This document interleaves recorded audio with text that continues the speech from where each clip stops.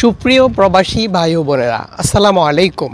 আজকের গুরুত্বপূর্ণ ভিডিওতে সবাইকে স্বাগতম। যেটা স্বল্প ঝুঁকির তালিকায় নেই এবং দেশগুলি থেকে আসা লোকদের জন্য হোটেল কোয়ারেন্টাইন দু হাজার বিশ সালের একত্রিশে অক্টোবর পর্যন্ত বাড়ানো হয়েছে। বর্তমানে কাতারের বাইরে আছেন, তাদের ক্ষেত্রে এই নির্দেশনা প্রযোজ্য হবে। কাতারের সিভিল এভিয়েশন কর্তৃপক্ষ সিএএ এই নির্দেশনা জারি করেছেন। নির্দেশনায় বলা হয়েছে, যারা ফ্লাইট বুকিং দিয়েছেন তাদের আগে থেকেই কাতারের একটি নির্দিষ্ট কোয়ারেন্টাইন হোটেলে রিজার্ভেশন নিশ্চিত থাকতে হবে। এ নিয়ে সরকারিভাবে সিভিল এভিয়েশন অথরিটি থেকে সকল এয়ারলাইন্স এবং ট্রাভেল এজেন্টদের নির্দেশনা পাঠানো হয়েছে।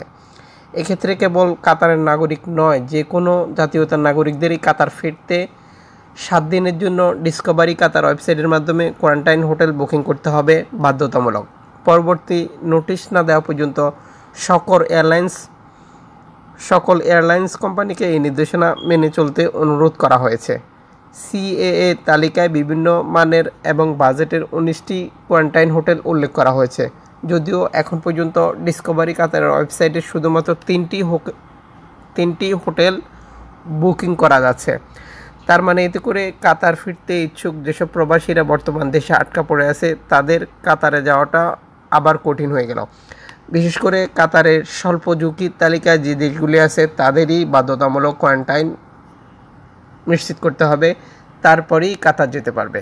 এটা ছিল কাতারের আজকের সর্বশেষ আপডেট আপনারা দেখছেন রিজওয়ান নাবিদ আপনি এ ধরনের আপডেট প্রতিনিয়তই এই চ্যানেলটা থেকে দেখতে চাইলে এখনই আমাদের চ্যানেলটা সাবস্ক্রাইব করে নেন। আর পাশে থাকা বেল আইকন ক্লিক করে অল দিয়ে দিবেন, যাতে করে আমরা কোনো আপডেট শেয়ার করলে আপনি মিস না করেন। আর আপনি যদি এরই মাঝে সাবস্ক্রাইব করেছিলেন, সেজন্য আপনাকে ধন্যবাদ।